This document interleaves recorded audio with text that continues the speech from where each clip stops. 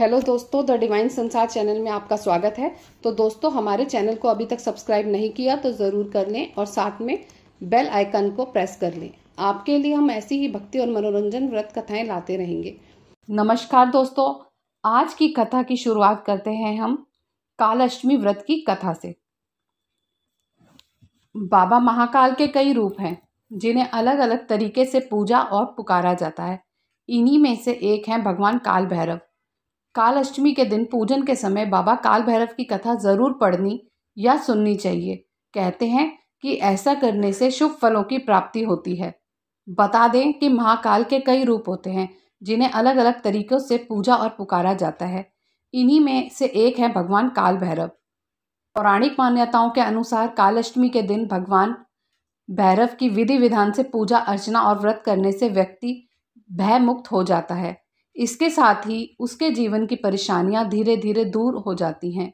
कालअष्टमी के दिन पूजन करने वाले सभी भक्तों को भैरव बाबा की पूजा कथा ज़रूर पढ़नी या सुननी चाहिए। ऐसा कहते हैं कि करने से शुभ फलों की प्राप्ति होती है। अब शुरू करते हैं कालअष्टमी व्रत कथा। पौराणिक कथा के अनुसार एक समय की बात है कि जब भगवान ब्रह्मा, भगवान श्री हरि विष्णु और भगवान महेश तीनों में श्रेष्ठता की लड़ाई चल रही थी। इस बात पर धीरे धीरे बहस बढ़ती चली गई, जिसको कम करने के लिए सभी देवताओं को बुलाकर एक बैठक की गई। सभी देवताओं की मौजूदगी में हो रही इस बैठक में सबसे यही पूछा गया कि श्रेष्ठ कौन है? सभी ने अपने अपने विचार व्यक्त किए और उत्तर खोजा, लेकिन उस बात का समर्थन भगवान शिव शंकर और भगवान श्री हरि विष्णु ने तो किया, परंतु भगवान ब्रह्मा ने भोलेनाथ को अपशप कह दिए। इस बात पर महादेव को क्रोध आ गया।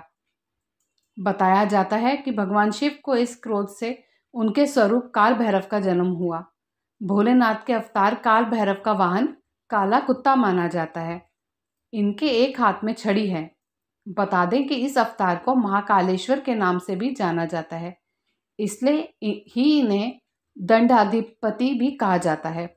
कथा के अनुसार भोलेनाथ के इस रूप को देखकर सभी देवता घबरा गए। कथा के अनुसार भगवान काल भैरव ने क्रोध में भगवान ब्रह्मा जी के पाँच मुखों में से एक मुख को काट दिया। तब से ब्रह्मा जी के पास चार मुख ही हैं।